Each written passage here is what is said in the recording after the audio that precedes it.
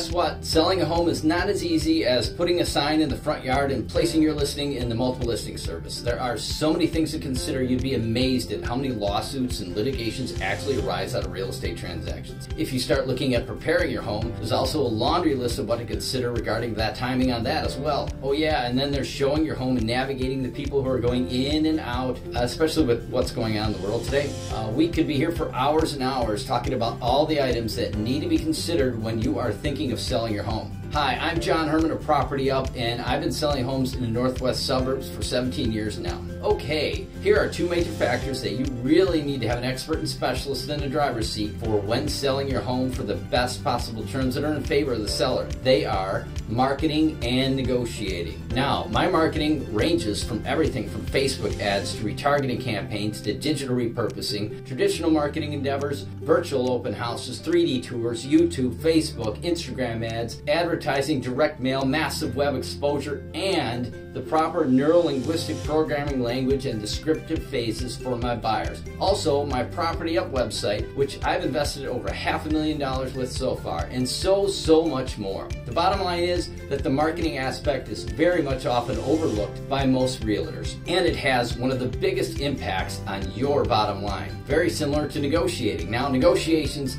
are up there in the list of very important things to cover and to think about.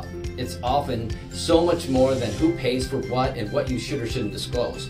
By the way, failure to disclose is one of the main reasons for lawsuits. There is so much more to think about and addressing during negotiations and understanding that negotiations really are never done until the home is closed. But I don't want you to worry. Most of these things are actually done behind the scenes and sellers don't even realize all the things that we do to take care into consideration of making the deal happen and assure that they have the very best possible outcome. Marketing and negotiations are my bread and butter, and I look forward to assisting you with any other questions you may have. Thank you again, John Herman, Property Up. Have a good one. We'll talk to you. Bye bye.